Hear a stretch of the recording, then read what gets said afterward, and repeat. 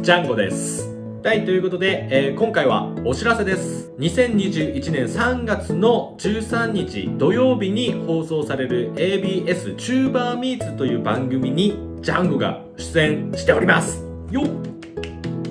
でこれどういう番組なのかっていうと秋田県の YouTuber をゲストというかスタジオに招いて あのいろいろおバズりの動画だったりだとかあとはどういうふうに普段活動しているのかなどという内容をスタジオでご紹介していくっていうテレビ番組なんですけども適当な説明すぎるなこれは。まあとにかく行ってきたんですよ。めちゃくちゃ緊張しました。テレビのねあのロケとかあの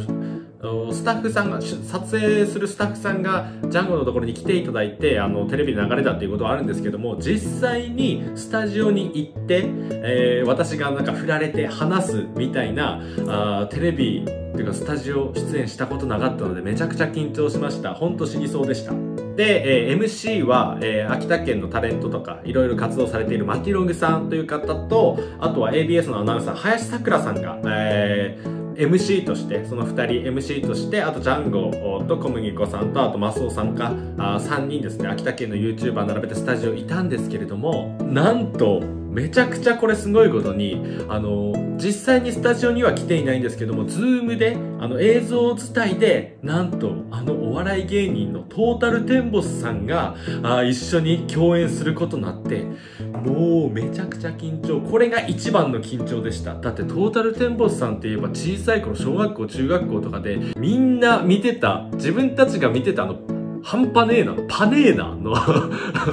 ワンフレーズというかもうそのワードでみんなもう小中学校とかも教室の中で言いまくってたあのトータルテンボスさんと一緒に共演することになったんですよ。これやべえべって話めちゃくちゃ緊張しました。なのでテレビ実際に多分見ていただくと分かるんですけどめちゃくちゃ私緊張してますし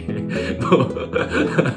見たくない。自分でもどうなってるかも編集は多分素敵にしてくださってると思うんですけど自分で見れない感じの多分テレビだったりと思います。はかはかしくなってね。番組ではあの秋田県の YouTuber こうやって活動してるようだとか秋田の YouTuber やってて楽しかったこととか辛いこととかなんかいろいろそういったあの質疑応答とかあったりして、えーまあ楽しい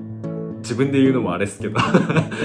楽しいテレビになってると思います。あとめちゃくちゃすごいなと思ったのがやっぱりお笑い芸人さんってすごいなって改めて、えー感じました。今までテレビだったりそれこそ動画だったりで、まあ、芸人さんって遠い存在だったよなって思ってた時に一緒に共演するってなる。でそういった時にやっぱスタジオの時ってやっぱ空気もすごいしなんかちゃんと取れ高となる発言ができなきゃいけないじゃないですかでなんせ私もど素人ですからそんなのできるわけないけどやっぱトータルテンボスさんお笑い芸人さんすごくてその現もうズームでつないでいようとその現場とのやり取りがすごいというかその回しもできますし自分たちでポンってやっぱキーワードというかキーフレーズをポンって出すことができていやーさすがだなと思いました。ビビりました。やっぱお笑い芸人さんすげえなと思いました。パネーなって感じでした。なのでねそういったトータルテンボスさんのそのすごいところにも面白くしてくださってるところにもすごく注目していただきたいですし、えージャンゴ並びにマスオさんだったり小麦粉さんだったりを注目していただければなと思います。であとこれあの番組外の話なんですけれども今回このチューバーミーチ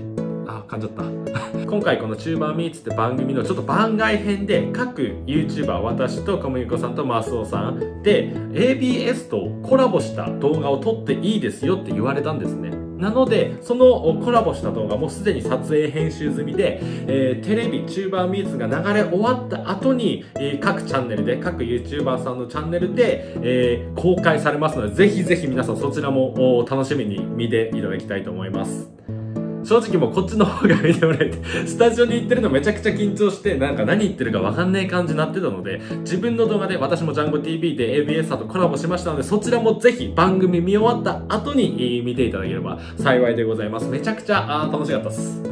コラボ動画の方もね。なので今回本当 ABS さんとこうやって、まあ、テレビの出来はどうかわからないですけれども 一緒にあの何かやることができてすごく嬉しかったなと思いました。まあテレビの活動もそうですけどやっぱ YouTube の方も頑張ってこれからも行きたいと思いますのでぜひぜひ皆さんテレビもジャンゴ TV も何卒よろしくお願いいたしますというところで今回の動画は終わりです。お知らせの動画でした。みんな見てね。俺は見れないと思うけどな。絶対見れない。やだら恥ずかしいよ。ということでさよなら。ぴょん。